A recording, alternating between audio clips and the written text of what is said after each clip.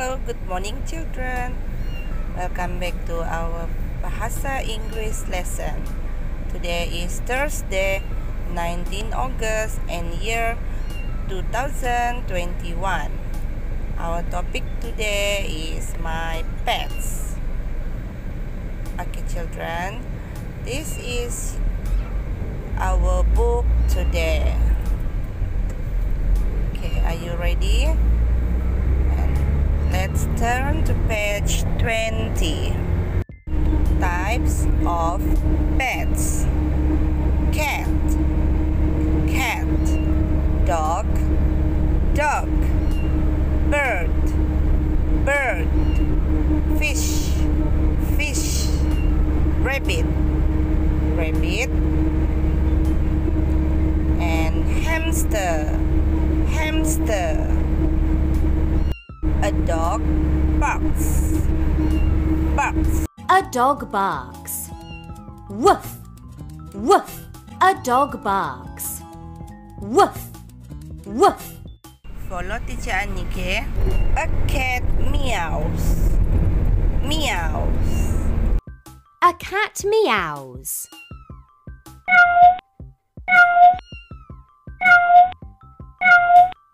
A cat meows.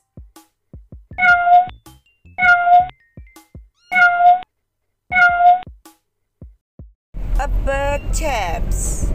Chirps. A bird chirps. A bird chirps. A frog croaks. Croaks. A frog croaks. A frog croaks. Alright, children, let's go to the next page. Page 22. What do these pets eat? A cat eats fish. A cat eats fish. Kucing makan ikan. A dog eats bones. A dog eats bones. Anjing makan tulang. A rabbit eats carrots. A rabbit eats carrots. Arnab makan lobak. Okay. Does a bird eat worms? Adakah burung makan cacing atau ulat? Hmm, yes, it does. I have a pet cat. I have a pet cat. I have a pet rabbit. I have a pet rabbit. What pet do you have? I have a pet fish. I have a pet fish. Okay, children, let's revise. Color the boxes that have the correct words to complete the sentences. Okay. A bird eats. Uh, what is the bird eats?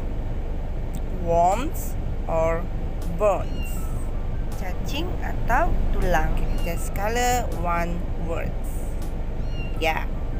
Bird eats worms. Then color the box. Good children. Jangan lupa tulis hari bulan di setiap lembaran kerja ini, oke? Okay?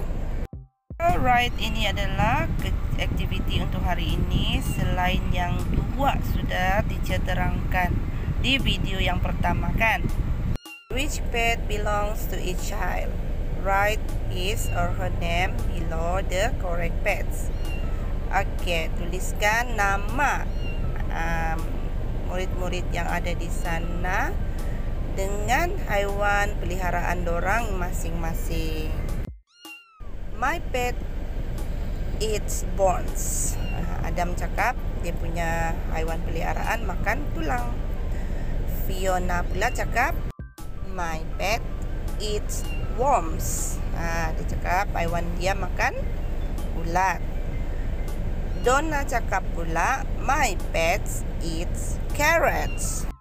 Dan Eric pula cakap, my pet eats fish.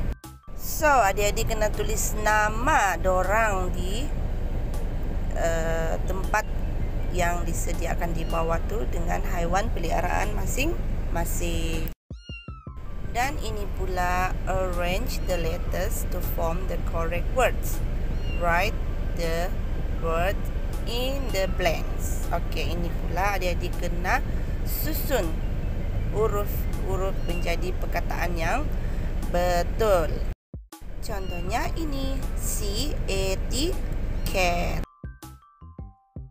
Alright children, that's all for today. Don't forget to do your task, okay? Thank you for watching. See you next lesson and goodbye.